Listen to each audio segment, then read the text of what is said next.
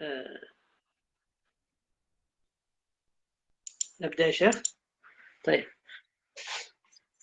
بسم الله الرحمن الرحيم وصلى الله وبارك على نبينا محمد وعلى آله وصحبه أجمعين. اللهم لا علم لنا إلا ما علمتنا إنك أنت العليم الحكيم.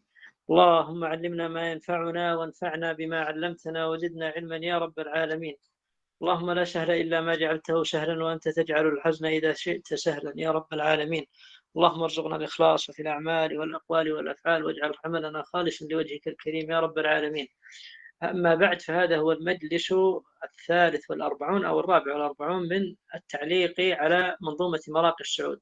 وقد كنا وقفنا في المجلس السابق عند قول الناظم رحمه الله تعالى في كتاب السنة وبعد أن بعث خير العرب دعوى النبوة مهال الكذب ومن تفى وجوده من نص عند ذوي الحديث بعد الفحص وبعض ما ينسب للنبي وخبر الآحاد في السني حيث دواعي نقله تواترا نرى لها لو قاله تقررا واقطع بصدق خبر التواتر وسو بين مسلم وكافر واللفظ والمعنى وذاك خبر من عادة كذبهم منحضر عن غير معقول وأوجب العدد من غير تحديد على ما يعتمد. وقيل بالعشرين أو بأكثر. أو بثلاثين أو اثني عشر إلغاء الأربعة فيه راجح وما عليها زاد فهو صالح. وأوجبا في طبقات السند تواترا وفقا لدى التعدد ولا يفيد القطع ما يوافق. الإجماع والبعض بقطع ينطق وبعضهم يفيد حيث عولا عليه وانفه إذا ما قد خلا. مع دواعي رده من مبطل كما يدل لخلافة علي. كالافتراق بين ذي تأول وعالم به على المعول ومذهب الجمهور ومذهب الجمهور صدق مخبري مع صمت جمع لم يخف حاضري ومودع من النبي سمعا يفيد ظنا أو يفيد قطعا وليس حامل على الإقرار ثم مع وليس حامل على الإقرار ثم مع الصمت عن الإنكار. طيب. إن شاء الله نحاول أن نمر على هذه الأبيات الليلة لأنه سنحاول في كتاب السنة ألا نطيل الكلام كثيرا لأن يعني مقام التوسع في هذا الباب يكون أو في هذا الكتاب يكون في الكتب المتخصصة في المصطلح ونحوه. ولذلك سنمر عليها آه، في هذا الكتاب. على قدر من الإيجاز بما يوضح عبارة المصنف وما الناظم وما يحتاج إلى تنبيه. قال المصنف رحمه الله تعالى وبعد أن بعث خير العرب دعوى النبوة مهال الكذب. الآن الناظم رحمه الله تعالى سيشرع في هذا البيت وما بعده في تقسيم للخبر إلى ثلاثة أقسام خبر مقطوع بكذبه وخبر مقطوع بصدقه وما لم يقطع فيه بواحد منهما. وبدأ في هذا البيت بالمقطوع بكذبه. فذكر مما من فذكر من الأخبار المقطوع بكذبها أو أن من الأخبار المقطوع بكذبها ادعاء النبوة بعد مبعثه صلى الله عليه وسلم. فمن ادعى النبوة بعد مبعثه صلى الله عليه وسلم؟ قطعنا وجزمنا بكذبه من غير أن نطالب نطالب بدليل على ذلك. إذ أن ثبوت ختم النبوة به صلى الله عليه وسلم قد قام الدليل القاطع عليه وهو إجماع المسلمين أجمعين مستندين لقوله تعالى ما كان محمد أبا أحد من رجالكم ولكن رسول الله وخاتم النبي ما كان محمد أبا أحد من رجالكم ولكن رسول الله وخاتم النبيين. قال ولما كان الأمر كذلك فهذا الدليل الذي هو مستند هذا الإجماع قد أثبت قطعا كذب ادعاء النبوة بعد مبعثه صلى الله عليه وسلم.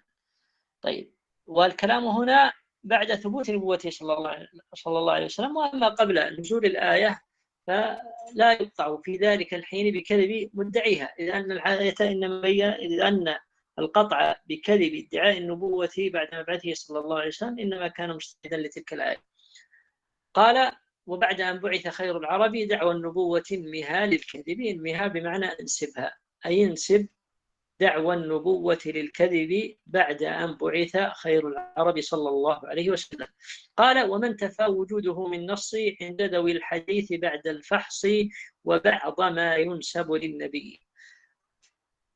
هنا أيضا لا يزال المصنف الناظم رحمه الله تعالى يتكلم عما هو مقطوع بكذبه. فذكر أن مما هو مقطوع بكذبه أو مما ينمى للكذب عند جماهير أهل العلم من الأصوليين وغيرهم كل حديث لم يوجد أي كل حديث نسب للنبي صلى الله عليه وسلم ولم يوجد في الكتب آه، المدونة في علم الحديث ولا في صدور الرجال بعد الفحص والتفتيش من أهل الحديث المختصين بذلك.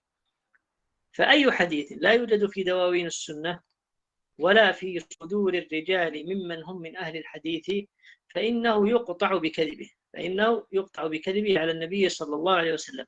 والكلام في هذه المسألة ينبغي التنبؤ عليه أن هذه المسألة مفترضة بعد تدوين الأحاديث في دواوين السنة. أما قبل حصول التدوين فلا شك أن قد يكون البعض عنده من الأحاديث ما ليس عند غيره. وهذا حتى كان في عصر الصحابة رضي الله عنه. فإن من الصحابة من حفظ النبي صلى الله عليه وسلم أشياء ومنهم من لم يحفظها وأنكرها. حتى إيش؟ ثبتت لديه. ولا أدل على ذلك من حديث أبي سعيد رضي الله عنه في الصحيح. لما روى القصة بين أبي موسى الأشعري رضي الله عنه وعمر بن الخطاب رضي وعمر بن الخطاب رضي الله عنه في الاستئذان ثلاثا. فإن أبا موسى لما ذكر حديث الاستئذان ثلاثا لم يقنع بذلك عمر رضي الله عنه. وطلب منه شاهدا على ذلك فجاء أبو سعيد كما في الحديث المشهور وشهد على ذلك. فالقصد أن هذه المسألة وهي العلم أو القطع بكذب أي حديث لم يوجد في دواوين السنة ولا في صدور الرجال إنما هو بعد تدوين السنة كما نبهنا. قال وبعض ما ينسب للنبي أي أنه من المقطوع بكذبه من المقطوع بكذبه بعض ما ينسب للنبي صلى الله عليه وسلم. ووجه القطع بذلك قالوا. هم الأصوليون يذكرون هنا دليلا يقولون أنه قال النبي عن النبي صلى الله عليه وسلم أنه قال سيكذب عليه. ولكن هذا يعني الحديث كما ذكر جماعة من أهل العلم أو هذا ما يروى هذا ليس حديثا ثابتا في دواوين السنة ولا يوجد في دواوين السنة بهذا اللفظ. ولذلك نبه عليه جماعة من أهل العلم وإنما ذكره جماعة من الأصوليين في كتبهم كالرازي وغيره. ولكن هذا المعنى من حيث يعني ورد في السنة فقد روى مسلم في مقدمته عن النبي صلى الله عليه وسلم من حديث أبي سعيد رضي الله عنه يكون في آخر الزمان دجالون كذابون يأتونكم بما لم تسمعوا أنتم ولا آباؤكم. يكون في آخر الزمان دجالون كذابون يأتونكم من الأحاديث بما لم تسمعوا أنتم ولا آباؤكم لا يضلونكم ولا يفتنونكم.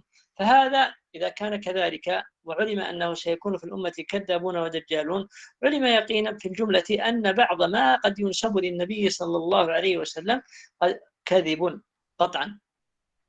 وإلا لو إذا لم نقل بذلك لكان هذا الحديث محل إيش؟ تكذيب.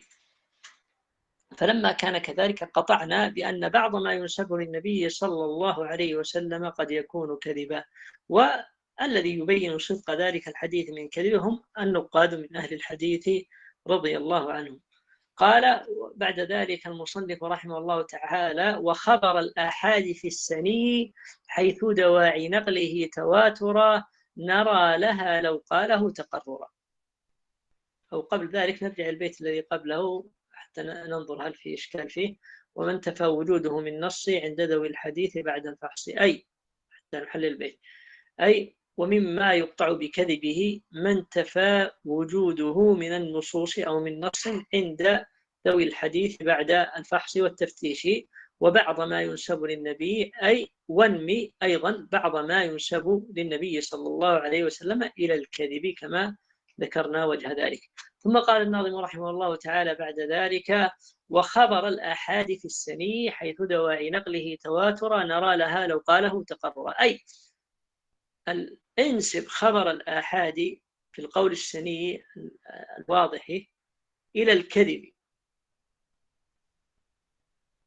متى يكون ذلك؟ حيث دواعي نقله تواترا نرى له لو قاله تقررا. طيب المصنف يريد أن يشير هنا إلى مسألة وهي أن من المقطوع بكذبه الخبر المنقول بالآحاد الخبر الذي ينقل آحادا. إذا كانت الدواعي داعية لنقله متواترا متوفرة. قالوا ذكروا مثالا لذلك كما لو أن آه، جمعا من الناس في مسجد في جامع والإمام والخطيب يخطب فجاء رجل فذكر أن الخطيب سقط وتفرد بذلك دون سائر من في الجامع لمن حضر الخطبة. فمن فلما كان كذلك فإن هذا يقطع قطعا بكذبه لمخالفته للعادة في أن هذا الجمع الغفير من الناس يحضرون مثل هذه الخطبة ولا يذكر أحد منهم سقوط الخطيب إلا هذا الرجل. وهذا يعني آه، القول بأن مما يقطع بكذبه مثل هذه الصورة وهي الخبر الآحاد الخبر الذي يرويه آحاد الناس مع وجود دواعي نقله متواترة هذا قول جماهير أهل العلم خلافا للرافضة فإنهم لا يقطعون بكذب مثل ذلك عندهم.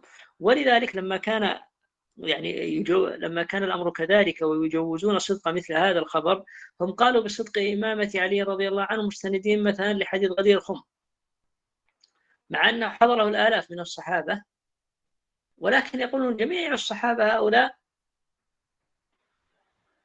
لم يذكروا إمامة علي رضي الله عنه وإنما ذكر ذلك الآحاد الذي يروون عنه.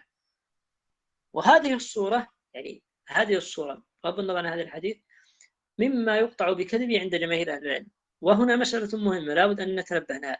صورة هذه المسألة هذه المسألة ينبغي أن تفرق بين هذه المسألة وبين مسألة أخرى وهي مسألة قبول خبر الواحد فيما تعم به البلوى. تلك مسألة وهذه مسألة. فمسألتنا هذه مسألة مستقلة عن مسألة قبول خبر الواحد فيما تعم به البلوى.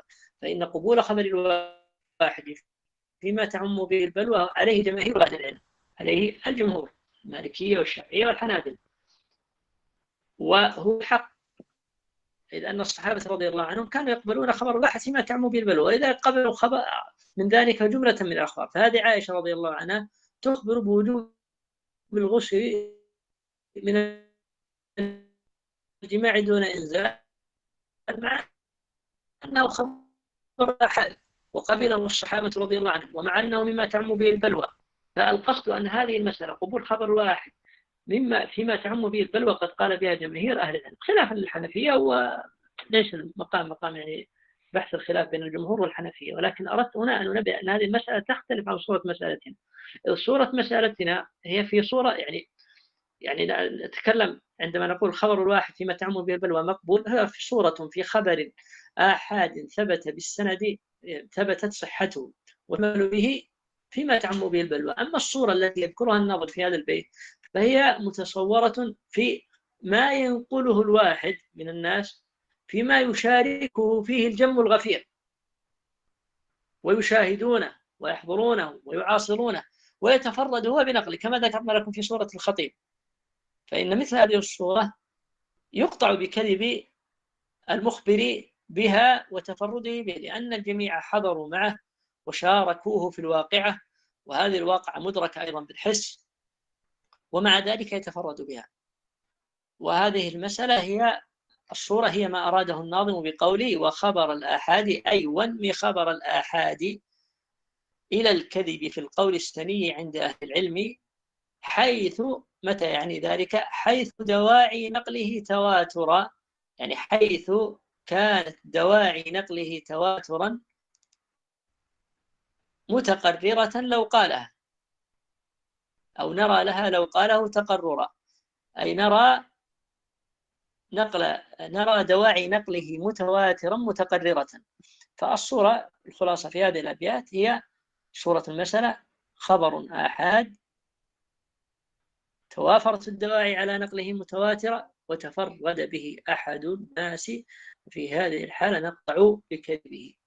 قال بعد ذلك الناظم رحمه الله تعالى واقطع بصدق خبر التواتر وسوي بين مسلم وكافر واللفظ والمعنى الآن انتهى المصنف رحمه الله تعالى الناظم رحمه الله تعالى من الكلام عما هو مقطوع إيش؟ بكذبه وذكرنا في الأبيات السابقة، الآن سينتقل لقسم ثاني من الأخبار وهو المقطوع بصدقه.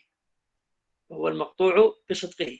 فذكر أن من الأخبار المقطوع بصدقها خبر التواتر. خبر التواتر وسيأتي تعريفه لا نستبق الآن. سنقول أن المتواتر من الأخبار مقطوع بصدق بصدقه عند جماهير أهل العلم. عند جماهير أهل العلم. والقطع بصدق المتواتر ضروري عند الجماهير من الأصوليين. يعني ليس نظريا وإنما على وجه الضرورة. خلافا لبعض الأصوليين. فنقطع بصدق خبر التواتر كما ذكر المصنف.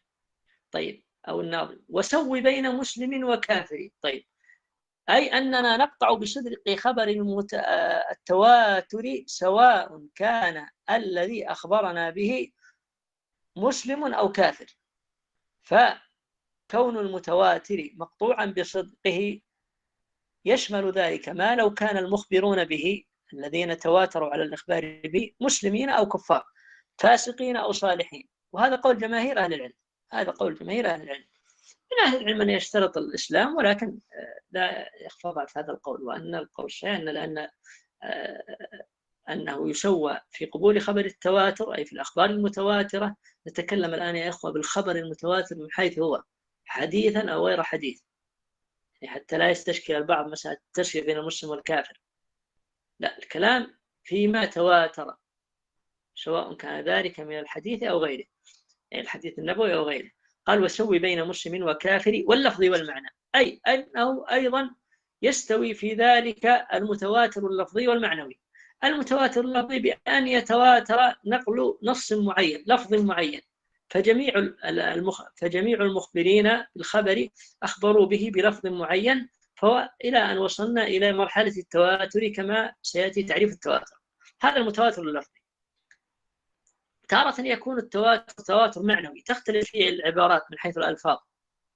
لكن جميع هذه العبارات إذا جمعتها بعضها إلى بعض حصلت على معنى كلي هذا المعنى هذا المعنى الكلي هو المستفاد من من أفراد تلك الألفاظ وهذا المعنى الكلي حصل لنا التوا... حصل لنا بالتواتر فأصبح مقطوعا بصدقه بصدقه. ويضربون لذلك مثال قالوا مثلا كما لو أخبر شخص عن حاتم الطائي أنه مثلا أعطى فلانا دنانير وآخر أنه أعطى فلانا ابلا وآخر أنه أطعم أضيافه وآخر أنه فتح باب بيتي إلى غير ذلك من الأمثلة.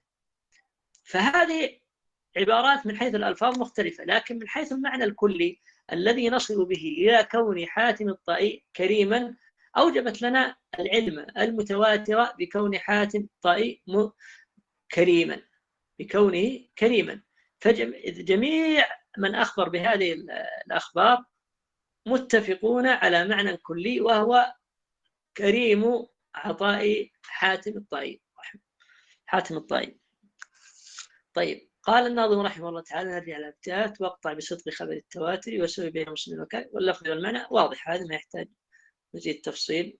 لا قال وذاك خبر من ثم قال الناظم وذاك خبر من عادة كذبهم منحضر عن غير معقول. الآن شرع في تعريف التواتر. قال وقوله وذاك إشارة إلى المتواتر أي أن المتواتر هو خبر جمع يمتنع عادة تواطؤ خبر جمع يمتنع تواطؤهم عادة على الكذب واتفاقهم على الكذب.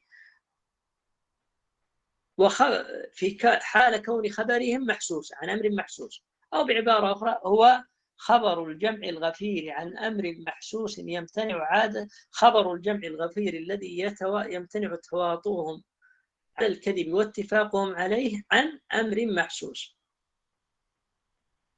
أي أن الخبر عن أمر محسوس.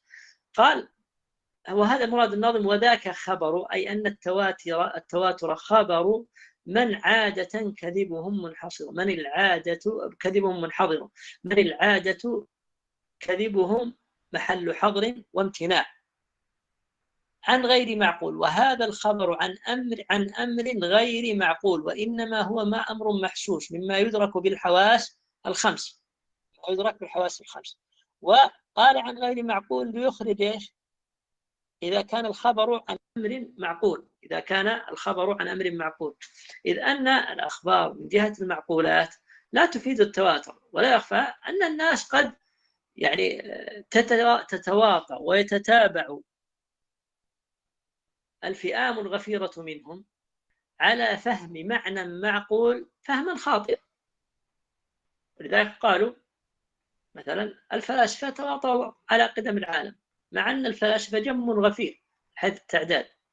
ولكن إخبارهم هنا لم يكن عن أمر محسوس وإنما أخبروا عن أمر معقول. والمعقولات لا تفيد التواتر والقطع مع وجود الجم الغفير لأنه جرت العادة أن الأفهام قد تخطئ قد يتتابع القوم على فهم خاطئ دون نكير دون نكير. ولذلك اشترط أهل العلم على اشترط أهل العلم بأن يكون الخبر المتواتر عن أمر محسوس عن أمر محسوس. قال و وأوجب العدد من غير تحديد على ما يعتمد. لما ذكر خبر التواتر وعرف خبر التواتر وأنه خبر من عادة كذبهم منحضر. طيب قد يقول قال طيب هؤلاء القوم الذين كذبهم عادة منحضر هل لهم عدد؟ هل لهم تعداد؟ هل يحصرون بتعداد معين؟ قال الناظم هنا أراد أن يبين هنا قال وأولي بالعدد من غير تحديد على ما يعتمد. بمعنى أن التواتر لا بد فيه من تعدد نقلته ولكن هذا التعدد من غير إيش؟ تحديد بعدد معين. بل المعتبر في المسألة هي إيش؟ العدد الذي يحصل به العلم على المعتمد وهذا قد يختلف من خبر إلى خبر. وهذا هو مذهب جماهير أهل العلم. مذهب جماهير أهل العلم. وإن كانوا يعني عامتهم يشترطون أن يكون أكثر من أربعة كما سيأتي. ولكن إذا تجاوزنا الأربعة فلا يشترط عند جماهير أهل العلم عدد منحصر ل آه، لرواة التواتر أو للمخبرين بالخبر حتى يكون متواترا. قال بعد ذلك الناظم وقيل بالعشرين أو بأكثر أو بثلاثين أو اثني عشر. في هذا البيت يريد الناظم أن يذكر لك بعض الأقوال التي قيلت في هذه المسألة على خلاف قول جماهير أهل العلم. فمن أهل العلم من قال يعتبر في عدد التواتر أن يكون الرواة عشرون. أو أن يكون الرواة عشرين. طيب فلا يكفي أقل من ذلك. وهؤلاء يعني استدلوا على ذلك بقول الله عز وجل إن يكن منكم عشرون صابرون يغلبوا مئتين.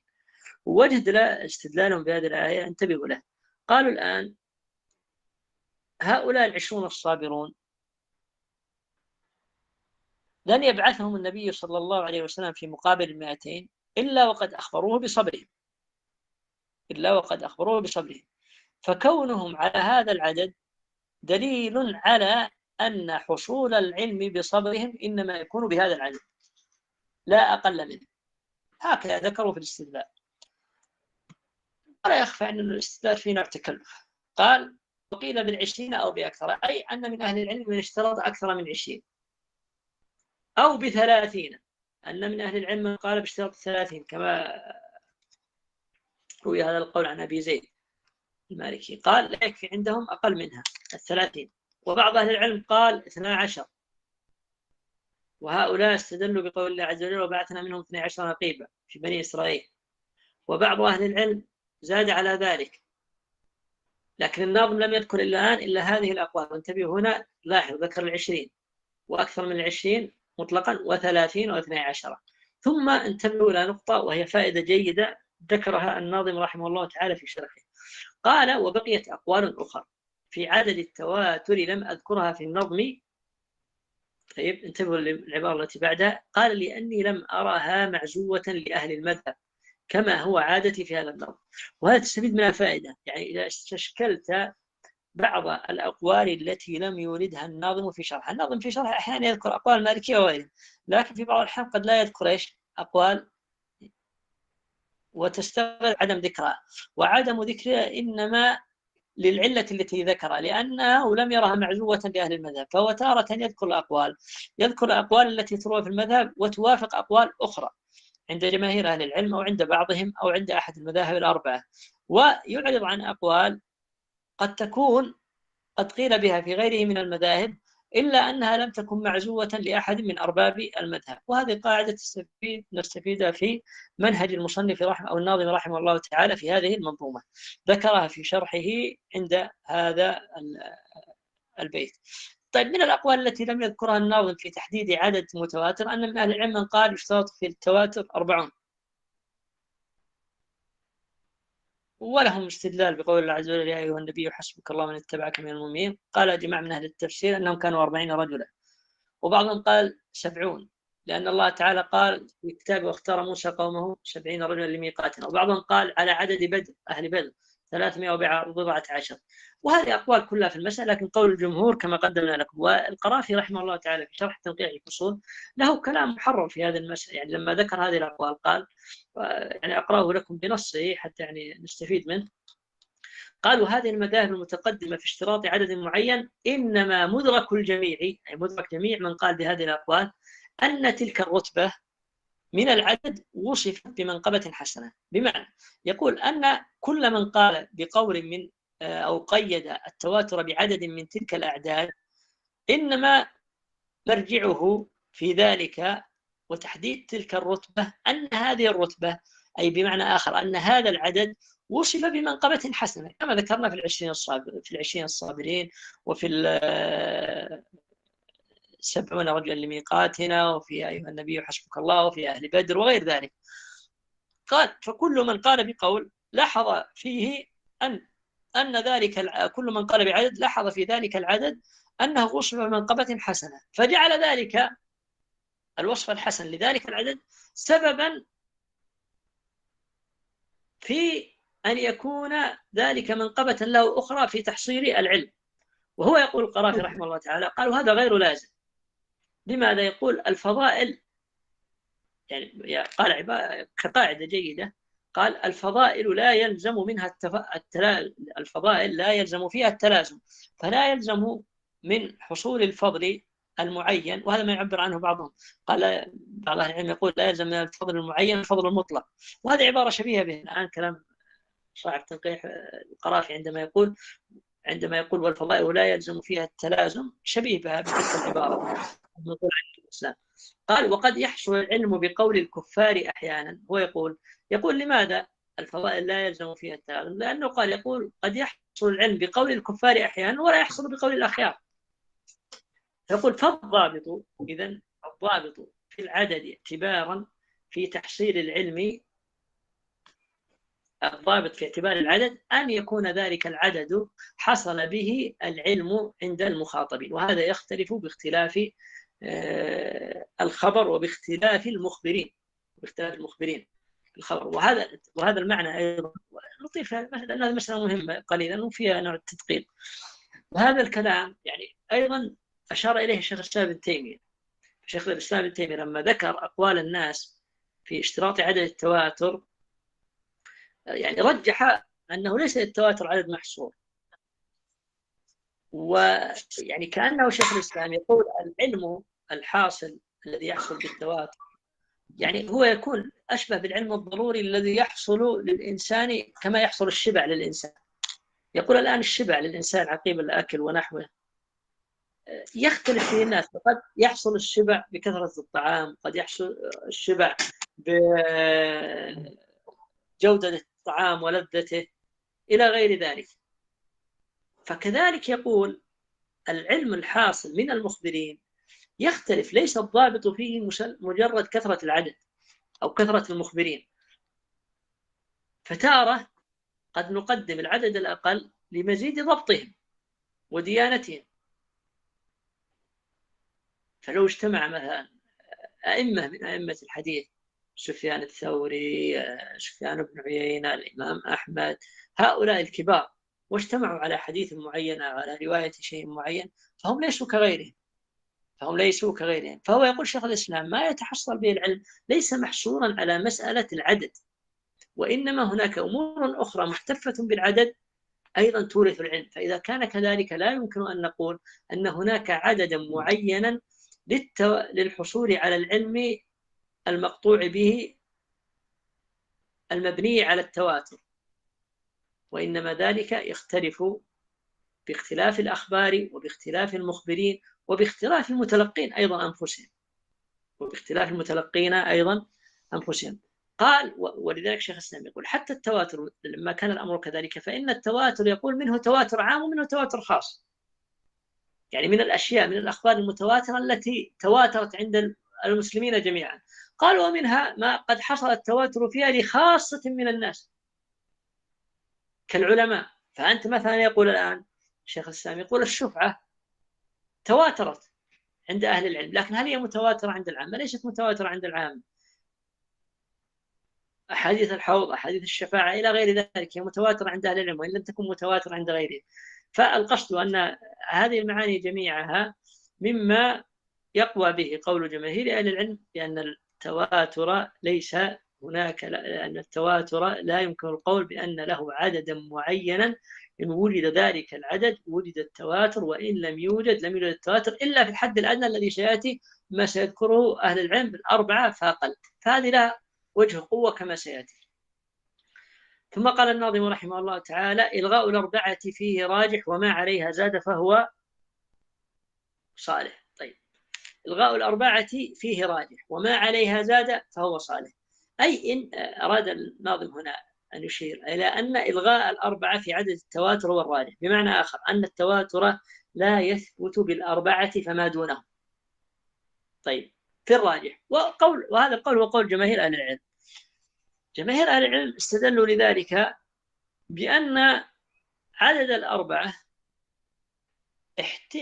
في, في الزنا لما أوجب الله في الزنا شهادة أربعة على الزنا. اشترط لذلك أن يكونوا عدولا تحصل يعني قد عدولا مزكين عند الناس. فإذا كان كذلك فإن الأربعة لا تفيد لا الأربعة لا يفيدون العلم الضروري الضروري وإلا لم يحتاجوا إلى تزكية. فلما احتاجوا للتزكية علم أنهم لا يحصل بخبرهم العلم الضروري والقطع بصدقهم. واضح؟ هذا وجه الاستدلال على أن الأربعة فما دون لا يحصل بها التواتر. قال وما عليها زاد فهو صالح. أي كل ما زاد على أربعة فهو صالح لأن يكون متواترا لأنه لا يشترط في التواتر عدد معين. وإنما كما قدمنا قد يحصل التواتر بأربعة قد يحصل بعشرة وقد يحصل بخمسين بحسب الخبر وبحسب المخبرين. حسب الخبر وبحسب المخبرين. هنا لما ذكر أهل العلم إلغاء الأربعة استشكل بعض الأصوليين ذلك فقالوا إذا قلنا بإلغاء الأربعة يلزم على هذا القول بعدم كفاية الأربعة مطلقا حتى لو كان الخلفاء الأربعة. يعني يعني كأن هؤلاء استشكلوا قالوا طيب ما رأيكم فيما لو اجتمع الخلفاء الأربعة؟ فهل يقطع بصدق خبرهم أو لا؟ أو يقدم عليهم من هو دونهم من دونهم إذا زادوا عددا؟ وقد أجاب الجمهور على هذا الإشكال بأن الكلام هنا محل الكلام هنا ليس من ناحية حال المخبرين وإنما من ناحية العدد واضح؟ فقد يكون من حيث الحال نقطع بصدق خبر واحد من كأبي بكر. ولكن من حيث الاصطلاح من حيث ثبوت ثبوت التواتر فلا بد من هذا العدد الذي هو الأربعة فصاعدا لما ورد بالآية لأننا نتكلم من حيث العدد دون اعتبار لحال إيش؟ المخبر الآن. ففرق بين أن نتكلم عن العدد كشرط للتواتر وبين أن نتكلم عن حال المخبرين. فقد كما ذكرنا سابقا أنه قد يحصل القطع بصدق آه، خبر جماعة لعلمنا بحالهم ولتمام إيمانهم كالخلفاء الأربعة لكن لا يحكم بالتواتر على ذلك الخبر الذي يروونه. ثم قال الناظم رحمه الله تعالى وأوجبا في طبقات السند تواترا وفقا لدى التعدد. هذه المسألة يريد أن يشير فيها إلى أن إذا إذا ما إلى أننا كما قررنا سابقا أنه يشترط في التواتر التعدد وأن يكون هذا العدد ولا يشترط عدد معين. فإذا كان كذلك فلا بد من هذا التعدد في جميع طبقات السند. وأن يكون في جميع طبقات السند من عادة خبرهم يمتنع فيه تواطؤهم على الكذب. ففي كل طبقة من طبقات السند إلى أن يصل إلى المخبرين. يقولون ومن أمثلة ذلك ومن أمثلة ذلك مما يعني كان فيه التواتر في كل طبقات السند حديث من كذب علي متعمدا فليتبوأ مقعده من النار. وتارة يكون التواتر في طبقة من طبقات السند دون باقي الطبقات أو في طبقات دون باقي الطبقات. الحديث إنما الأعمال بالنيات حديث فرد باعتبار يعني آه، بدايته فإن هو مروي يعني ابتداء من حديث آه، يعني روي عن عمر بن الخطاب رواه عن علقة بن وقاص الليثي ثم رواه عن علقة محمد إبراهيم التيمي ثم بعد رواه يحيى بن سعيد الأنصاري ثم بعد ذلك من يحيى بن سعيد الأنصاري تواتر. ولكن قبل ذلك لم يكن متواترا. ففي مثل هذه الصورة يقولون لا بد أن يكون التواتر في كل طبق من طبق في كل طبقة من طبقات السند وعلى هذا فيكون هذا الحديث بهذا الاصطلاح غير متواتر عندهم. قال وأوجبا في طبقات السند تواترا وفقا لدى التعدد. هذا هو مراد الناظم هنا. قال ولا يفيد القطع. طبعا قوله لدى التعدد أي هذا احتراز مما لو كان الخبر في طبقة واحدة. نفترض أن هذا الخبر الآن ما فيه إلا طبقة واحدة. فإذا كان ما فيه إلا طبقة واحدة يشترط التواتر فيها فقط. أما إذا تعددت الطبقات كما ذكر المصنف لدى التعدد أي لدى تعدد الطبقات ففي هذه الحالة لا بد من التواتر في كل طبقة. ثم قال الناظم رحمه الله تعالى ولا يفيد القطع ما يوافق الإجماع والبعض بقطع ينطقي وبعضهم يفيد حيث عول عليه. طيب هنا الناظم رحمه الله تعالى سيشير إلى مسألة خلافية بين أهل العلم وهي هل يحكم أو هل يقطع بصدق الخبر خبر الآحاد أو بصدق الخبر إذا انعقد الإجماع موافقا له. بمعنى عندنا خبر أحد وهذا الخبر أتى الإجماع موافقا له. فهل موافقة الإجماع للخبر يصير به ذلك الخبر قطعيا؟ لأن الإجماع قطعي. هل يصير ذلك الخبر قطعيا؟ لموافقة الإجماع له محل خلاف بين أهل بين أهل العلم. من أهل العلم من يقول أن موافقة الإجماع لخبر الآحاد لا تفيد القطع. لا تفيد القطع. ولذا قال الناظم ولا يفيد القطع ما يوافق الإجماع. هذا القول الأول. وهذا ذهب إليه جماعة من المذهب الحنفية والشافعية. وقدمه الناظم كما ترون وصححه. قال الذين قالوا بذلك قالوا لا يفيد القطع من جهة أنه قد لا يكون مستندهم في الإجماع هذا هذا الخبر بعينه قد يكون مستندهم في الإجماع خبرا آخر. خبرا آخر. فلما كان هذا الاحتمال قائما قالوا إذا لا يفيد القطع ما وافق الإجماع من الأخبار. من أهل العلم من يرى أن ما وافق آه، الإجماع من الأخبار فإن ذلك يفيد القطع بذلك الخبر. لأن ذلك يفيد القطع بهذا الخبر. وهذا يعني ذهب إليه جماعة من الحنابلة ورجحه الشوكاني. وهؤلاء يعني يرون أن أن الإجماع لما قام فإن الظاهر استناده إلى ذلك الخبر. ما لم يصرح المجمعون على أنهم استندوا على خبر آخر. ما لم يصرح المجمعون أنهم استندوا على خبر آخر. فإذا جاء خبر موافقا وجاء الإجماع موافقا له. فالأصل أن هذا الإجماع مستند على ذلك الخبر إلا أن يثبت خلافه إلا أن يثبت خلاف ذلك. هذا مستند من قال بأنه يفيد القطع من أهل العلم من فصل فقال يفيد القطع إن صرح المجمعون أن مستند إجماعهم ذلك الخبر. فإن لم يصرحوا بأن مستند إجماعهم ذلك الخبر لم يحصل القطع بصدق ذلك الخبر. وهذا أيضا قال به جماعة أيضا من الحنابلة. هذا ملخص هذه المسألة. قال الناظم رحمه الله تعالى ولا يفيد القطع ما يوافق الإجماع. هذا القول الأول. والبعض بقطع ينطقي هذا القول الثاني. وبعضهم يفيد حيث عول عليه. أي حيث عول عليه أهل العلم. حيث عول عليه أهل العلم في الإجماع. هذا القول الثالث في المسألة. ثم قال الناظم رحمه الله رحمه الله تعالى وانفه إذا ما قد خلا مع دواعي رده من مبطل كما يدل لخلافة علي. آه، يريد أن يشير الناظم هنا رحمه الله تعالى إلى مسألة. وهي أن جماهير أهل العلم على أنه لا يستفاد القطع بصدق الخبر من عدم إبطاله مع توفر الدواعي لإبطاله. أعيد مرة ثانية. جماهير أهل العلم يقولون لا يفيد القطع بالخبر لا يفيد القطع بصدق الخبر عدم إبطاله مع توافر الدواعي الباعثة لإبطاله. بالمثال يتضح المقال الآن قالوا ومن ذلك الآن الأحاديث التي أو الأحاديث الدالة على أن عليا أحق بالخلافة من معاوية. أو التي استدل بها على ذلك التي استدل بها على ذلك. مثل أنت مني بمنزلة هارون من موسى. من كنت مولاه فعلي مولاه إلى غير ذلك.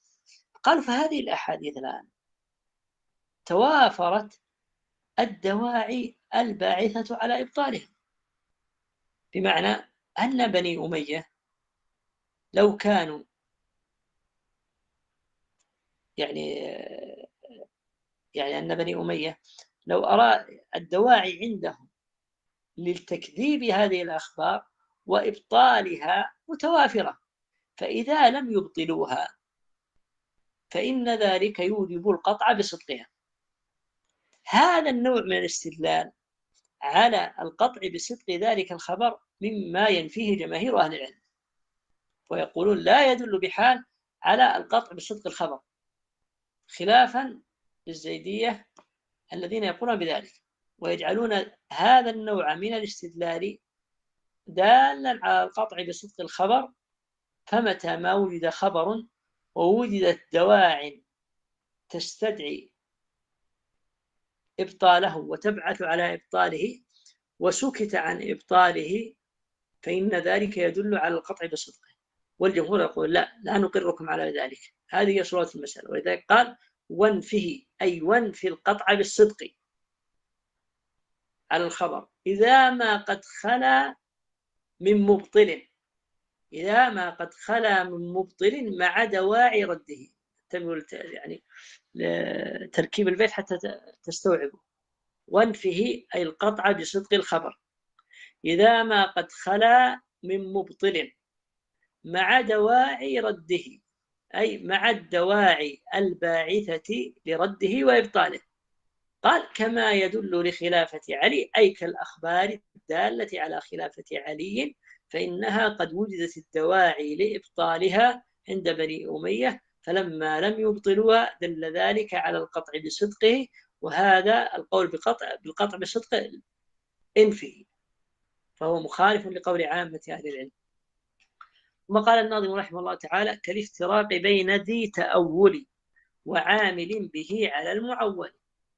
أي كما أننا نفينا القطع بالصدق بما قدمنا يعني كما أننا نفينا القطع بصدق الخبر بما قدمناه في البيت السابق فكذلك ننفي القطع بصدق الخبر عند من يستدل على القطع بالصدق بالافتراق بين أهل العلم. صورة المسألة. صورة هذه المسألة كالآتي. افترق أهل العلم في خبر من الأخبار بين عامل به وقائل به وبين من تأول ذلك الخبر ولم يحتج به. طيب إذا اختلف أهل العلم في خبر بين قائل به وبين يعني بين قائل به محتج وبين متأول لذلك الخبر وعدم وغير قائل به يعني بمدلوله. قال جماعة من أهل العلم قال بعضهم قال بعض الأصوليين قال هذا يستدل به على القطع بصدق هذا الخبر إذ أن ذلك أشبه بالإجماع منهم على قبول ذلك الخبر فالذي قبله عمل به والذي أوله قبله ابتداء واضطر إلى تأويله.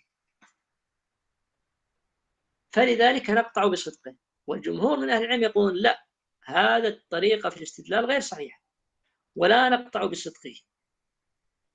ووجه ذلك أنه سواء أن المت... هذا الخبر الذي اختلفوا بين قائل به ومؤول به إنما اتفقوا على يعني اتفاقهم على قبوله لا يدل على صدقه وإنما اتفاقهم على قبوله يدل على ظنهم صدقه ولا يلزم من ذلك القطع بصدقه. ولا يلزم بذلك القطع بصدقه وإنما إنما هم قبل الذين تأولوه إنما ظنوا صدقه ولذلك أولوه. ولذلك أولوه. والقصد أن جماهير أهل العلم يقولون افتراق العلماء في خبر بين مؤول له وبين غير محتج به وبين عامل به لا يدل ذلك على القطع بصدق الخبر. قال الناظم رحمه الله تعالى بعد ذلك ومذهب الجمهور ومذهب الجمهور صدق مخبري مع صمت جمع لم يخف حاضري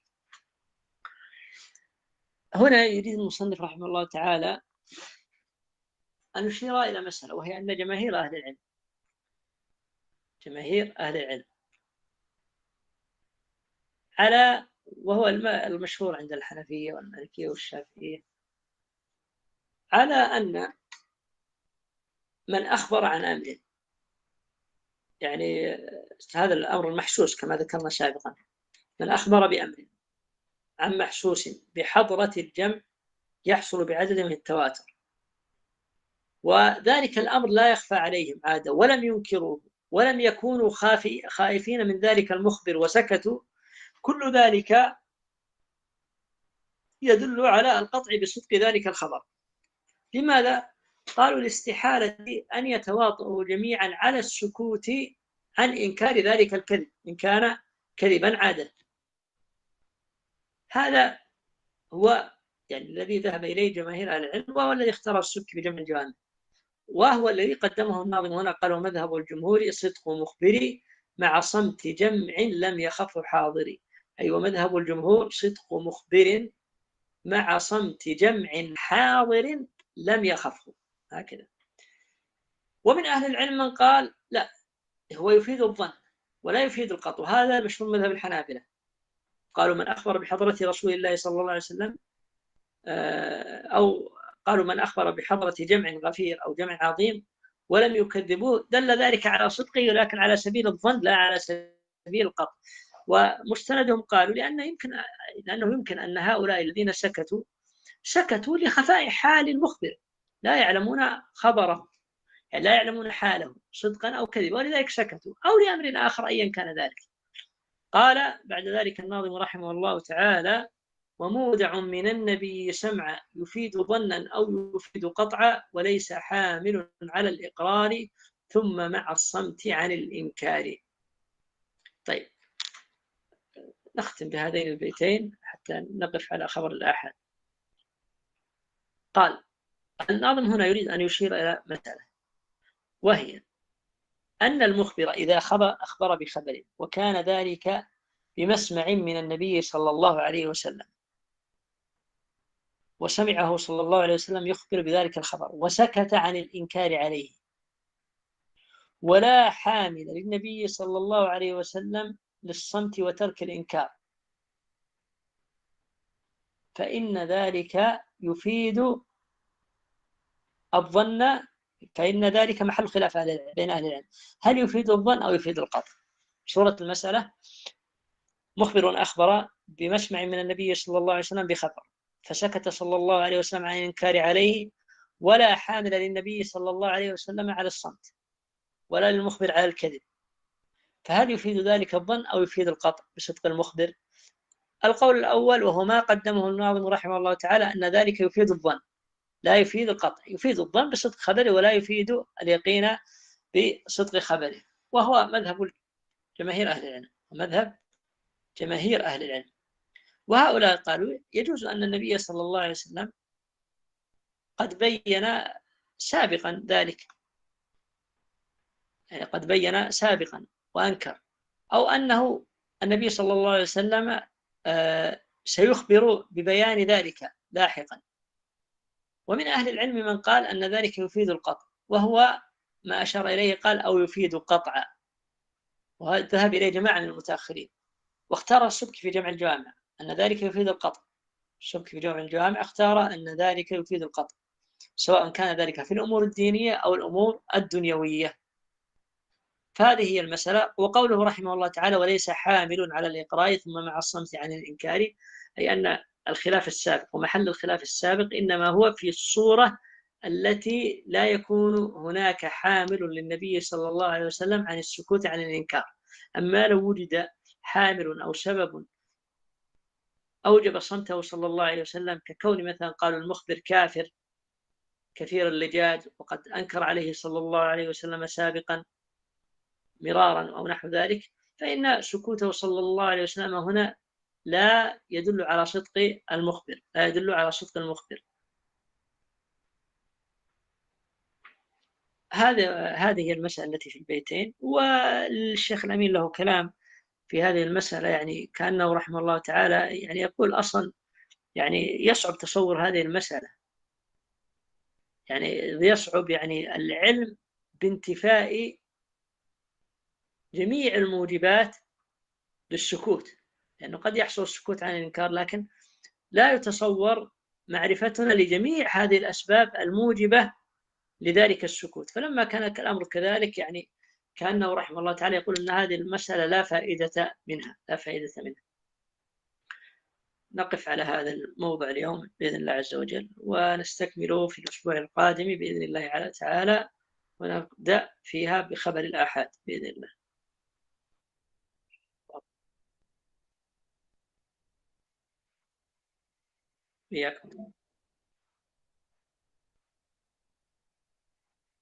خبر الأحادي مضمون.